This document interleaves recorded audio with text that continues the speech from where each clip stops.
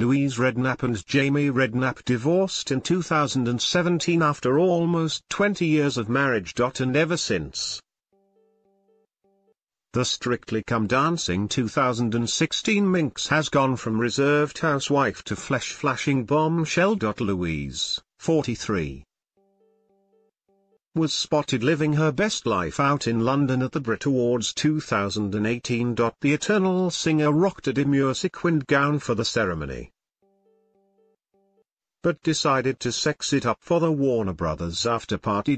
Louise offered up her entire frame in a see-through dress that purposely exposed her undies. The black frock featured a dangerously short hemline,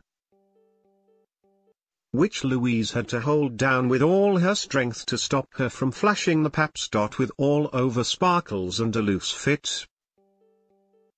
Louise cemented her style credentials in the fashion-forward frock. Dot but the mini dress was totally sheer which meant Louise's perky assets and black bra were on full display. The two-faced songstress completed her look with a black clutch bag and metallic court shoes. In the hair and makeup stakes.